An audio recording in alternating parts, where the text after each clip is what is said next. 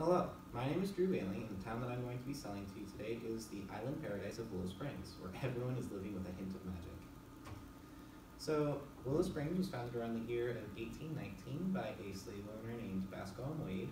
Um, it's not actually part of any one state, uh, but it's actually on the border of South Carolina and Georgia.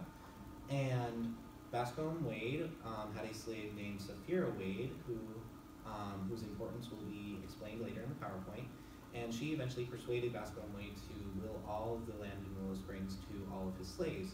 And this is proved by the quote by Gloria Naylor. Um, in 1823, um, she persuaded Bascom Wade in a thousand days to deed all his slaves every inch of land in Willow Springs. And the climate of Willow Springs is a tropical climate with a strong cooling breeze, and it's it's surrounded by the ocean, um, seeing as it's an island.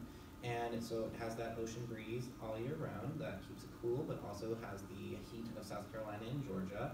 Um, it's why it's places like Charleston, South Carolina are such a popular retirement destination because of the perfect weather around there.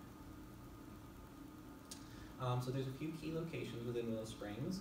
Um, there is Chevy pa- Chevy's Pass, the other place, and the Three Woods.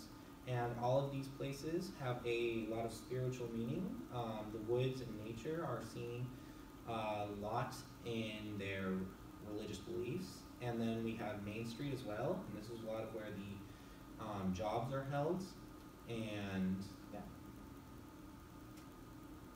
And so we get back to the principles of Willow Springs. Um, like I said before, they have a heavy focus on nature and spiritualism. However, they are loosely based off of Christianity, but they are heavily focused on that nature and the magic aspects of their lives. Um, there's also another principle, which is to be faithful to your partner. And that is very important to those in Willow Springs. There's a lot of jealousy if that ever doesn't happen. And so, um, this belief in the spiritual and Christian values is proved by the quote Pearl says, if something that's, that big is headed in this way, her God will protect her. Um, so there's a few prominent families and um, leaders in Willow Springs, and that includes the Wade family. Um, that is what Sapphira and Bascom were stemmed off of, and the Wade family eventually became the Day family, who um, Abigail and Mama Day are all descended from. And then we have the Duval family, which um, the Duvals perfectly demonstrates the um, faith to your partner that is mentioned on the previous slide. Um, and then there's just a few extra characters, which is Dr. Buzzard, George Andrews, and Ruby. Um, Dr. Buzzard was one of the main characters within Willow Springs. He owned a distillery. Um, George Andrews was the husband of Cocoa, and he ended up dying due to the um, heart defect and the stress um, towards the end of the novel. And also there's Ruby, um, who is also one of the powerful women. Um, she is seen as mystical and powerful. And yeah. So then there's the gender roles of Willow Springs. Um, um, it's a perfect place for a woman to live because of the empowerment that is seen. Um, all women are seen as powerful or mystical or something to that effect. And being in a relationship contrary to some places, um, men and women are equal in that relationship rather than having a disparity towards the men. Um, and this power that women have is shown by the quote, she brings that cane shoulder level and slants it into the left side of the house. The wood on wood sounds like thunder. The silvery powder is thrown into the bushes. And this quote shows the power of Mama Day and what she can do, and it's in a magical ritual that she's doing. Um, and then we come to the jobs that are available.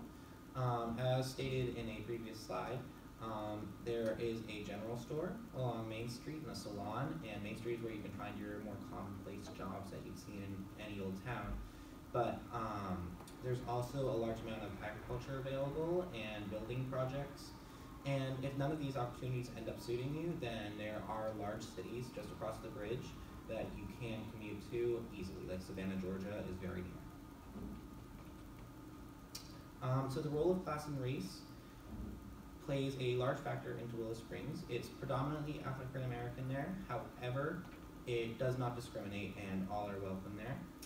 Um, the community is a very welcoming and accepting community, so any person who wants to live there can. And class doesn't play a huge role in Willow Springs because of the fact that it is basically one singular class throughout the island. So you don't really have to worry about the disparity between rich and poor on that. And then these are all the resources I used, and that is about it. Um, Dr. M, awesome semester, thank you so much, and I can't wait for the next class we take together.